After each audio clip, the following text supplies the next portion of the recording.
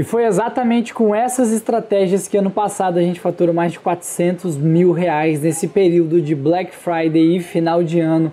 E hoje eu vou revelar toda a estratégia para vocês, para vocês aplicarem um método de cinco passos que eu não tenho dúvidas que vocês terão resultado. E é por isso que é importante você estar atualizado com as estratégias que estão funcionando hoje no mercado. Eu acabei de lançar o meu mais novo treinamento, que é o Marca de Sucesso, eu mostrando, levando uma loja do zero a um milhão de reais, a minha marca. Foi até mais, está chegando nos dois milhões de reais e eu mostro todos os bastidores para os alunos lá e tá assim absurdo o conteúdo lá dentro. Então, se você quer destravar, eu vou deixar o link aqui embaixo também para você.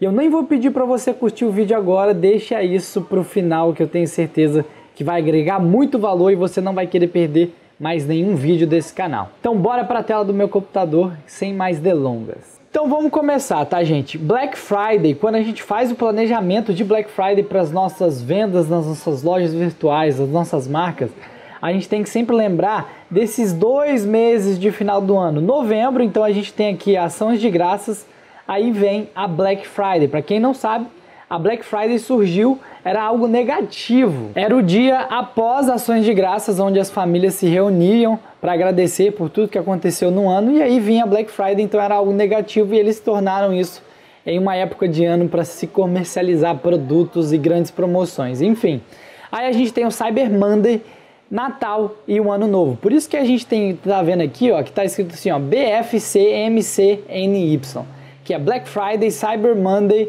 Christmas, New Year, que em português é Black Friday, Cyber Monday, é, Natal e Ano Novo. E olha só que interessante, ano passado, em 2023, o Cyber Monday teve mais acessos do que a própria Black Friday. Para vocês entenderem que está todo mundo de olho na Black Friday, mas fique de olho também na Cyber Monday. Geralmente produtos eletrônicos. E olha só que gráfico lindo, gente. A gente vê que no início de novembro as pessoas estão mais hesitantes de comprar e depois vem aumentando conforme chega aqui na Black Friday e no Cyber Monday esses números aumentam. E olha só que interessante, tem um site que ele marca quantas pessoas morreram na Black Friday e até hoje teve é, dos, é, 17 mortes e mais de 125 pessoas machucadas, né? Porque vocês já viram aquelas cenas das pessoas uma passando em cima da outra, é isso que acontece e é isso que a gente faz também nas nossas lojas virtuais, tá? E um hack muito legal para vocês, ó. Vocês vão entrar nesse site aqui, ó, Wayback Machine. Nele você consegue ver todos os sites que rodaram ofertas de Black Friday ano passado. É só você digitar o site que você quer. Vou mostrar aqui um exemplo prático para você. Então, olha só, eu abri o Wayback Machine, coloquei aqui Mercado Livre, a gente vai aqui, ó, pro mês da Black Friday aqui, ó, a gente vê que a gente tem alguns snapshots aqui, ó, vamos clicar para ver. Então, olha só, eu entrei, por exemplo, aqui no Mercado Livre ano passado e olha só, eles estavam é, rodando uma oferta com o Mion e aqui a gente consegue ver os banners, como que eles fizeram, todo o layout do site, é só esperar loadar, mas enfim, vocês podem entrar aqui e começar a vasculhar os sites que vocês mais gostam, os seus concorrentes, dá para vocês pegarem muitas ideias boas daqui. Então, um hack muito importante para vocês é planeje esses últimos dois meses do ano juntos e eu vou mostrar para vocês como que vocês devem planejar. Mas antes, vamos falar disso daqui, ó, pessoas que nunca entraram no seu site. Você tem que entender que a Black Friday ela é focada em pessoas que já visitaram o seu site, mas às vezes não compraram ou adicionaram carrinho, não compraram e até os seus compradores para fazer com que eles comprem de novo. Então a estratégia de Black Friday não é tanto para trazer pessoas novas, mas pode e funciona muito porque as pessoas estão mais nessa intenção. Mas entenda que a maior parte do dinheiro realmente é feito nas pessoas, por exemplo, que visitaram o seu site ao longo do ano, né, durante todo o ano, entraram no seu site e não compraram, mas já conhecem a sua marca ou já né, ouviu falar ou já pelo menos entrou na sua loja para ver o que, que você tem. Então vamos agora para a estratégia. Ó, Black Friday, como eu falei, é para vender para um público morno quente que você acumulou ao longo do ano. Mas é claro que ainda funciona para público totalmente frio que não te conhece. E por que, que a Black Friday vende muito? Porque todo mundo ama comprar, só que ninguém gosta de ser vendido, exceto na Black Friday. As pessoas estão procurando por promoções e ofertas na Black Friday diferente do ano inteiro que elas estão talvez mais só ali, né, é, browsing, passando, passando um olho, dando uma olhada. Então, promoções durante todo o mês de novembro é muito legal. Eu gosto de fazer uma estratégia que a gente chama de Black November. A gente roda novembro inteiro. Então, a gente começa as campanhas dia 1 de novembro, às meia-noite, e só desliga quando é, elas param de performar ou a data dentro da campanha acabou Black Friday não faz sentido a gente estar tá rodando Black Friday. Mas já teve anúncios meus que rodaram aí por mais de 109 dias é, né, a gente sabe que a Black Friday é um pouquinho menos, então a gente deixou porque estava convertendo, estava vendendo e a gente estava conseguindo escalar. Então, dando tempo para as campanhas otimizarem nas plataformas de tráfego. Por que, que eu não gosto de fazer estratégia de Black Week ou Black Day, que é um dia só ou uma semana só? Porque não dá tempo para as campanhas nas, nos tráfego, nas plataformas de tráfego pago otimizarem. Então hoje eu quero esperar essas plataformas otimizarem, mostrarem quais são os melhores criativos para aí sim, quando chegar mais próximo da Black Friday, eu escalar. Vocês lembram do gráfico que eu mostrei lá no início? Que começa poucas vendas no início do ano e depois vai aumentando. Então, eu gosto muito de fazer anúncios específicos com influencers. Eu contrato criadores profissionais de conteúdo chamados UGCs, que são ah, pessoas que são treinadas, fazem cursos, enfim, para aprender a fazer é, vídeos que vendem sem vender. E é claro que na Black Friday você pode ser mais agressivo, você já pode falar, ó, oh, esse produto está com essa promoção. E esses anúncios convertem muito e eu vou mostrar um pouquinho para vocês. Então você pode também pegar, gente, os que mais performaram ao longo do ano. Então você vai só colocar um elemento de Black Friday nele, um black visual nele, é, vai dar uma mexida na copy talvez, ou só colocar umas legendas. E eu vou mostrar isso aqui também daqui a pouco para vocês. Fazer imagens e motions específicos dos produtos, né, usar bastante do preto e com algum tom da sua marca, funciona muito. Campanhas de e-mail marketing, SMS e WhatsApp também. É muito importante você fazer uma sequência. Eu vou mostrar daqui a pouco também para vocês. E anúncios com comunicações mais agressivas então, quando a gente está chegando próximo da Black Friday, né, da Black Week, que é a semana da Black Friday, você pode fazer criativos específicos para essas semanas mais agressivos, tá bom?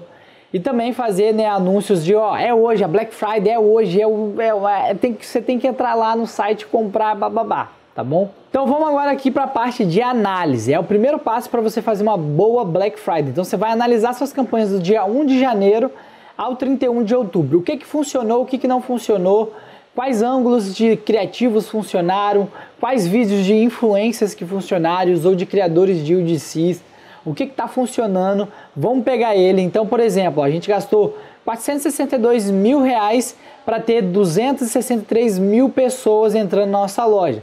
Só que lembra, né? Se a gente vendeu 10 mil para 10 mil pessoas, dessas do, do 263 mil pessoas que entraram, a nossa taxa de conversão foi de 3,94% e o número de pessoas que visualizaram, mas não compraram, foi de 253, um número muito expressivo e muito grande. Então, olha o tanto de gente que entrou na minha loja e não comprou.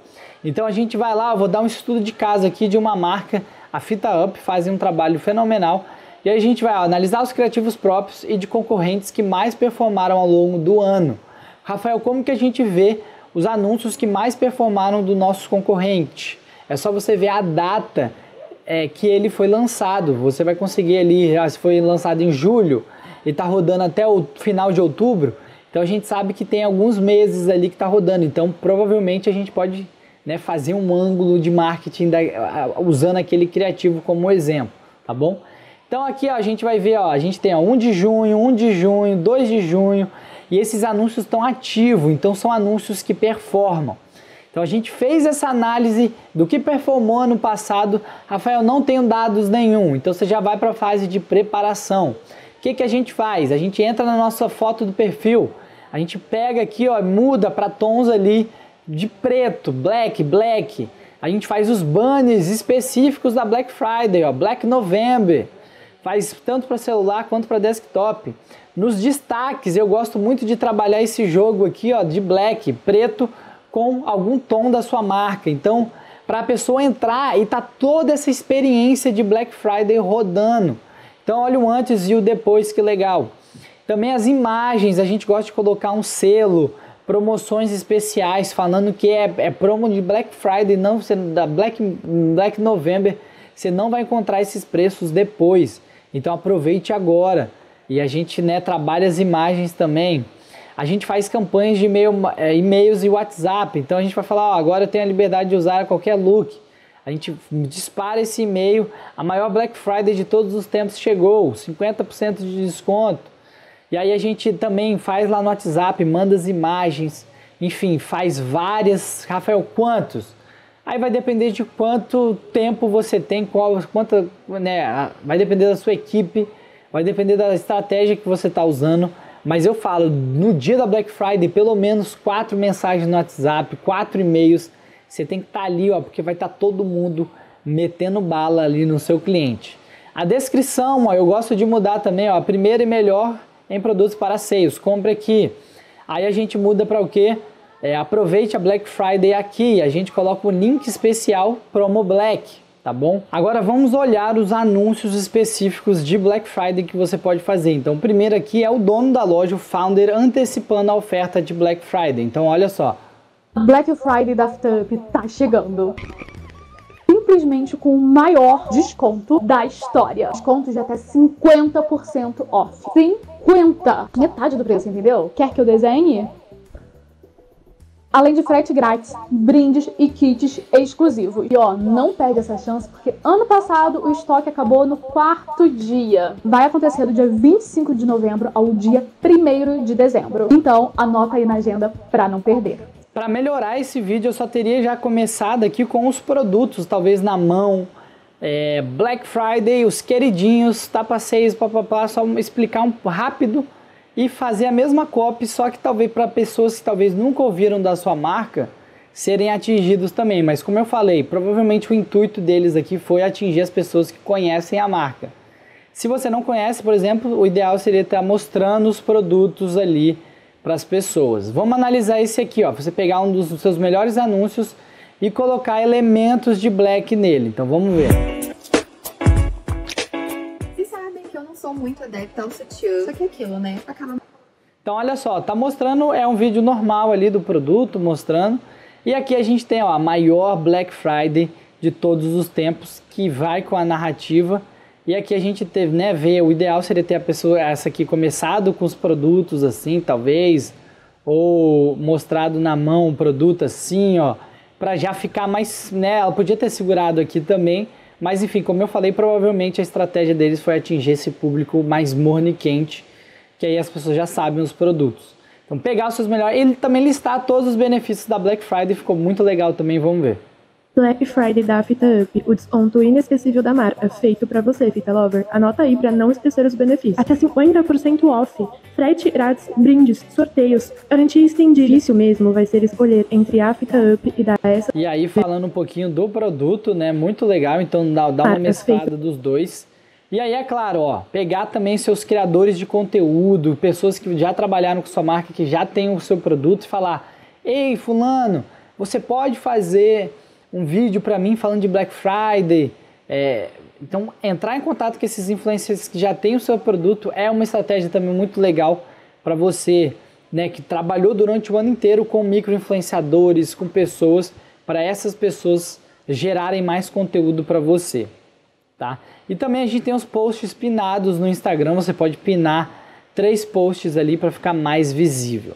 Aí a gente vai para a estratégia de lançamento, a gente vai antecipar via e-mail, WhatsApp, SMS, nos stories do Instagram, através de ligação, através de anúncios, conteúdos orgânicos que a Black começou ou vai começar em breve.